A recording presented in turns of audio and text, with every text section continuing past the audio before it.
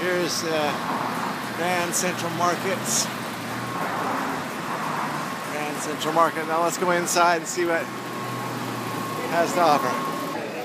You can look out over the whole thing here? Mexican food. This actually looks like pretty good Mexican food. One.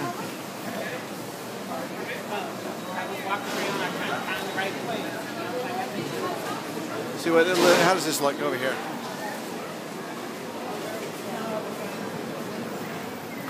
Yeah, that kind of looks good. This is what I decided to get Milanesa, whatever that is. Standing here was eating and it looked good, so I.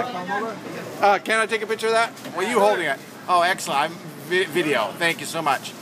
My uh, Milanesa, Milanesa, I think it's Milanesa.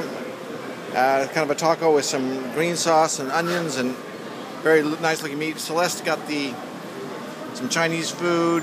What are they? What kind of chicken do they call it? Kung Pao. Yeah. Kung Pao and Chichang. You like it?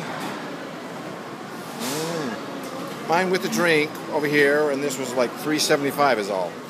Deal of the century.